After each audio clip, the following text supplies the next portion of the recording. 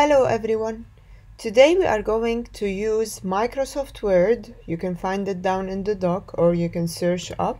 Use you type W O and then you click enter in the keyboard. We will create symmetrical figures. In order to do that, we will have to choose a blank document. And then click create.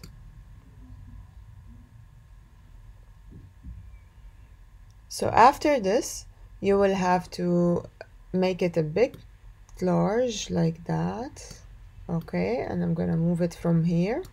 We need to use Google Chrome now in order to find pictures to create symmetrical figures. In order to do that, we click on Google Chrome and we need to click on Kiddle over up over here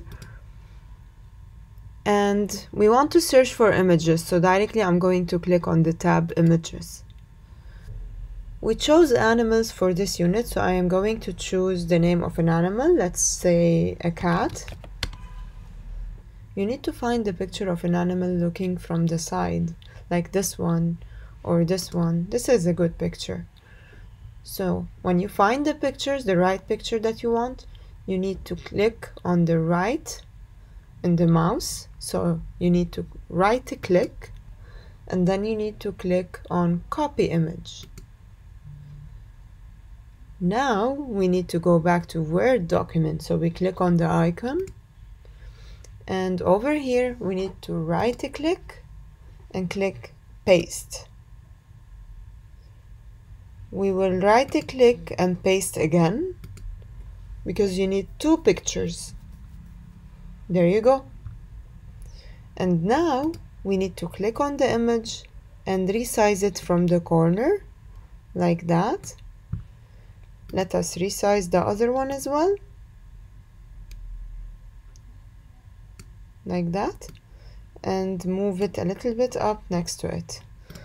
Resize and make it the same. Like that.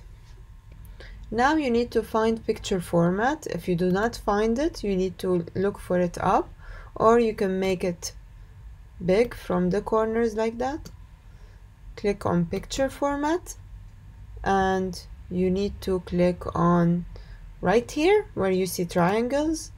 You need to flip it horizontally. There you go. I created symmetry. I'm going to do the same thing with another example. Are you ready? Mm.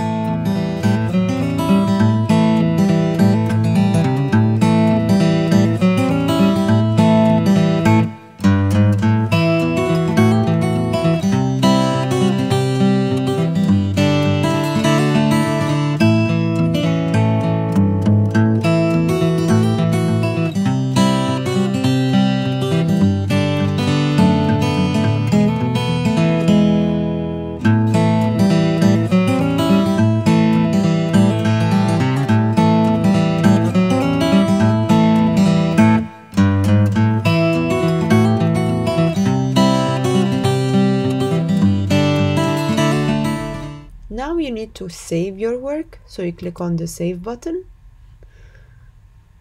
You need to make sure that you are saving on documents and then type your name. I'm gonna type Rawan to A, let's say, and then click save. After this, you just close it all with the red button. Thank you for watching.